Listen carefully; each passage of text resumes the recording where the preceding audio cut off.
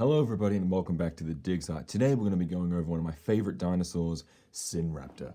I don't really know what it is about Sinraptor that I love. Um, it's just such a strange, interesting theropod dinosaur.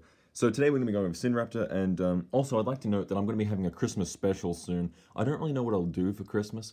Um, I, I, I like, you know, I'm not a very festive person, but I am, you know, I, I, I, celebrate Christmas and I'd like to do something on the channel about it, even if many people watching this likely don't celebrate Christmas. Um, it is not, you know, a, a universal holiday. It, it is just a very uh, uh, uh, abundant and common one here in Australia. Um, and uh, as I'm sure many of you know, I'm personally am not religious. So yeah, let's get into Sinraptor and forget all that stuff because I'm sure a lot of people are getting angry at me in the comment sections already. The nearly complete skeleton of Sinraptor was found in 1987 during a joint Canadian and Chinese dinosaur project. It was evidently a carnosaur, but appeared to be more primitive than those of North America. Other Chinese carnosaurs seemed to show some similarity to it, and this was the basis for erecting a new family, the Sinraptoridae. Sinraptor is a much smaller animal than its North American relative, Allosaurus, and may have been able to run more swiftly. An unusual arrangement of the neck joint indicates that it held its head higher than other theropods did. Its compact body and lightweight head suggest that it could change direction quickly, almost cheetah-like during an attack. Its teeth have been found associated with the bones of a large sauropod, probably its principal prey. And that's really quite interesting to think that Sinraptor may have hunted large sauropods considering its rather small size.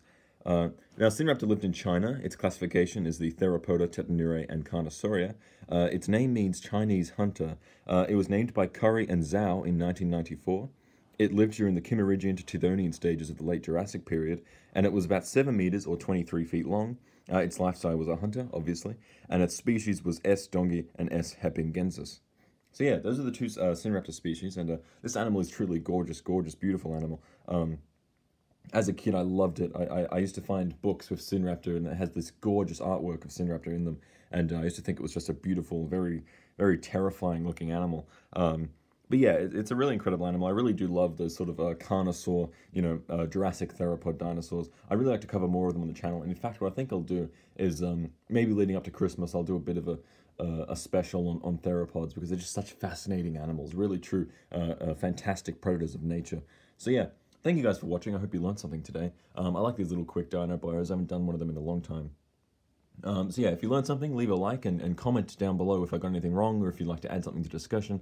And uh, subscribe if you want. I'm not really too, I don't really care about subscriptions as long as people are watching it and learning. That's all that I want. I just want to educate people. So yes, thank you guys for watching and I will see you all next time. Cheers.